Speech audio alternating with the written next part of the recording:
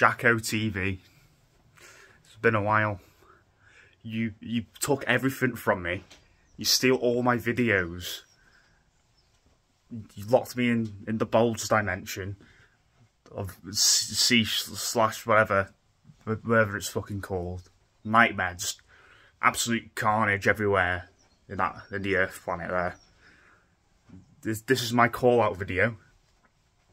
I want a um, a boxing match, and whoever wins gets to keep the unified Jack Lad title. Because in my eyes, you're just another Jacko TV impersonator. I am the real Jacko TV, the real Jack Lad. You stole all my ideas. You nicked my idea box. This is this is it, and I am the real Jack.